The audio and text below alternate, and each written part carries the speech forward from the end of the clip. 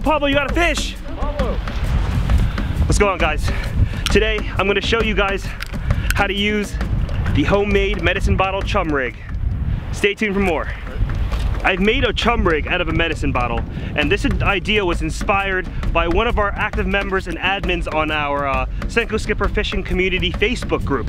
Um, anyways, he posted a homemade contraption like this, and I was like, wow, this is this is really cool. This reminds me of the chum rig I used not too long ago but this is homemade. So Steven Beach Boy Tang, thank you very much for the idea. Um, this is his first time trying it. So in here I filled it with fish guts, uh, grass shrimp, uh, dead bloodworms, a bunch of nasty stuff in there, um, just to add more scent to it. So look, I'm gonna fill it with some grass shrimp here. There's like guts. Gut. Yeah, this is from this is from the other perch that we ate. And then there's like dead bloodworms.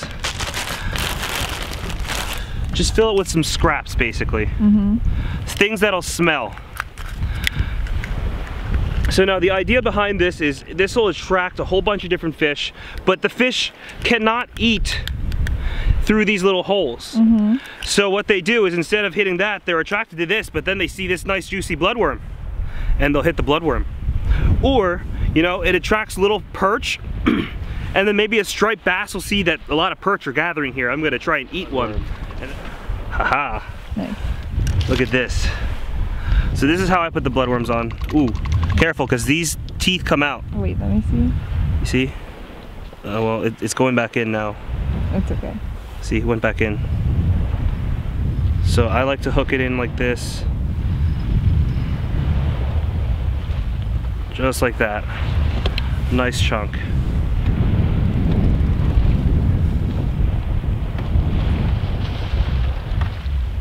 And this is why they call them bloodworms. Look at my fingers. Yeah.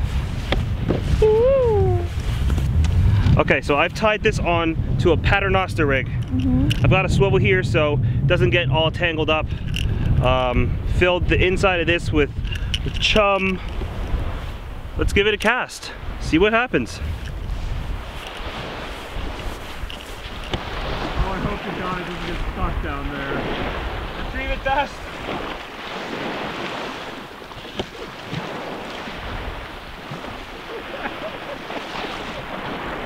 The? Okay. What the heck? We're good. Ready? Yeah.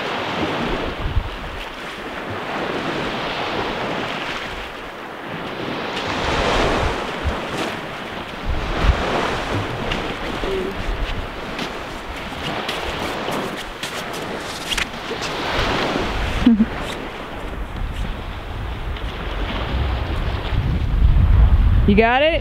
Yeah, still draining.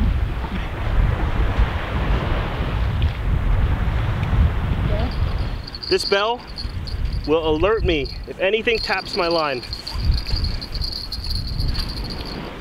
This tube will hold my rod until I get a bite. And now I can start a fire, I can cook, I can hang out and wait for this alarm to go off.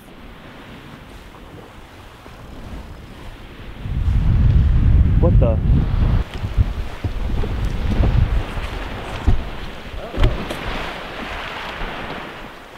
Got on there. Oh my gosh. Oh my god. Oh, two perch Two.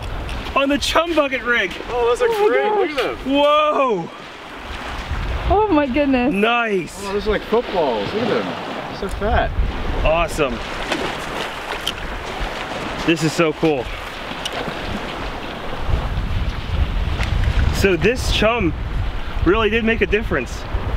Two at a time on the circle hooks. Perfect.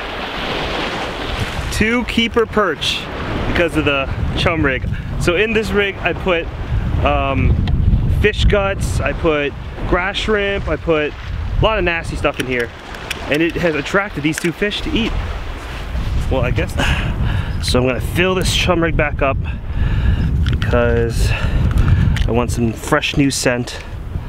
And I've got like intestines, roe, all sorts of gunky stuff.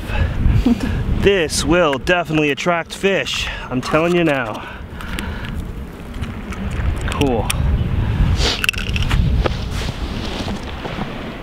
Pablo. Yeah. Pablo. Yeah. Nice. I'll just, uh, He's on. I'm on.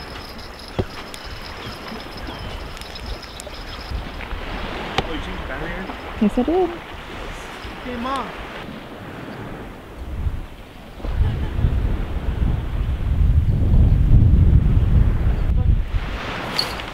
You got something?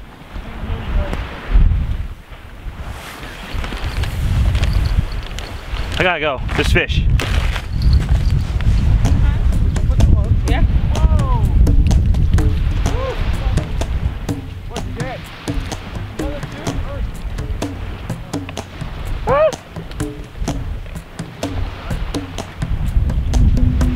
I got another one on the chum rig. It's working really well.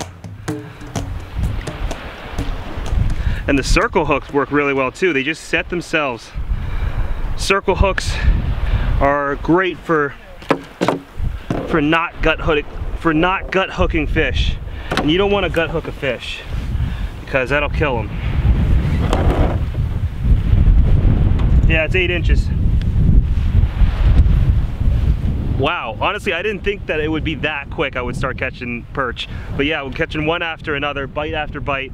Um, only problem I see with the, the chum rig is that it is a little bit bulky, so it has been kind of stagging me a little bit, but I haven't lost it yet, and it's been it's been great. If, you, got- if anyone needs help on beach fishing or pier fishing, I want to I want to introduce you to our new store. It's in the link below. We specialize in helping people get on fish, so check out our store. Maybe we can help you guys. Uh, you know, uh, Brendan.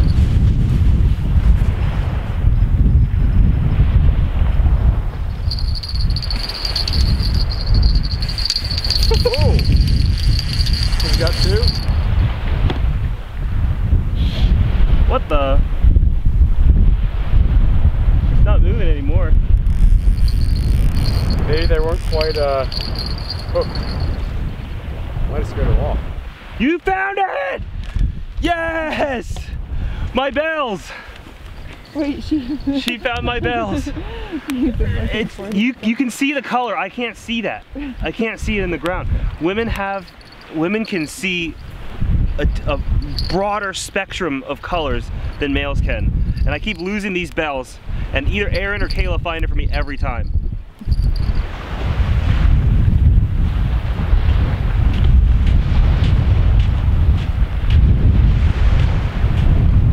Nice. I mean, the regular rig is working too. But The regular as rig rig is working too. It's just, it's, I'm getting more bites on the chum rig. Yeah.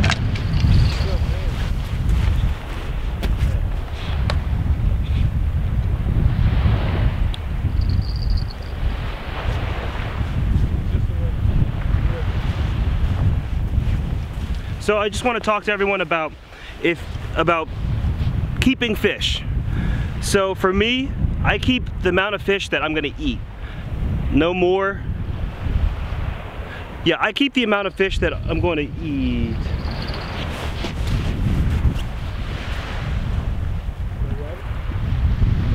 Leave it for now. Circle we'll be fine. So I only keep the fish that I'm gonna eat. If the fish are too small, I throw them back. You know, if I have too much fish, I throw them back. And I think that's important so that we can keep the population of our fish up. If everyone took all the fish they caught, we might not be fishing today.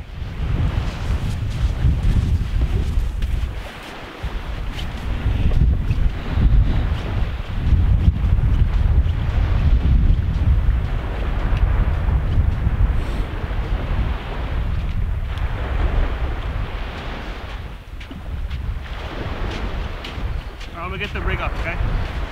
Yeah.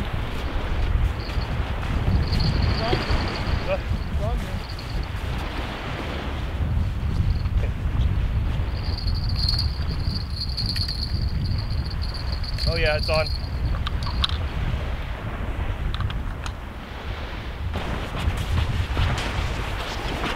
I got one, I think. The chum rig. Oh yeah, I got something for sure.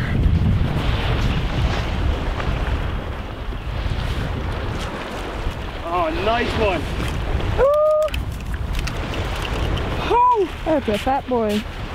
That is a fat one.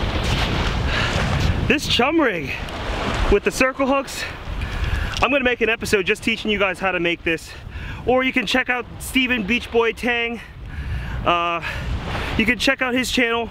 He's the one who taught me how to make this. Um, check his channel out if you wanna learn. But that's a nice size, dinner size perch right there. And now when you're fishing for like fish like this, perch, you're gonna catch a lot. And um, you're gonna catch a lot that are over, that are undersized. What you wanna do is instead of use J hooks, which can get stuck in their stomach, maybe think about using circle hooks. Circle hooks are designed to not gut hook. It'll come out and just get hooked on the side of the mouth every time. So think about using circle hooks. Look at that. I had such a good time catching fish and, and grilling it on the grill here um, and building a fire, hanging out, pitching a tent. It was a really great way to spend the day at the beach. Even though we didn't catch any of the big stripers we were hoping for, the migration just hasn't come yet. There was a cold snap three or four days ago and uh, sent a lot of fish back. Even though we didn't catch any huge fish, had a great time catching the perch. Those were really tasty fish. Thank you guys for watching. Tune in every Thursday night at 7.30 p.m. Eastern Standard Time. Uh, if you want to be notified every time we post a new episode, click the little notification bell next to the subscribe symbol. Thank you guys for watching.